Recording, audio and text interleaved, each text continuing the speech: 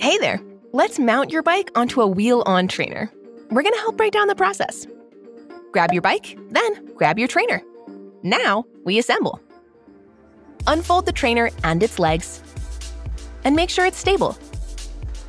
If you have a quick release skewer, replace it with the one that is included with your trainer. If you have a through axle, you'll need to swap the through axle out for one that works with your trainer. If you have questions, contact your trainer manufacturer for more info. Release the clamping mechanism.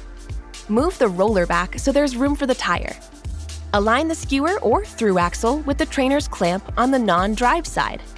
Both the quick release skewer and through axle adapter will have small protrusions that extend beyond the bike's frame for a more solid connection with the trainer. Shut the clamping mechanism. The handle should close firmly, but you shouldn't have to force it. When secured, the bicycle's rear tire should be centered on the roller.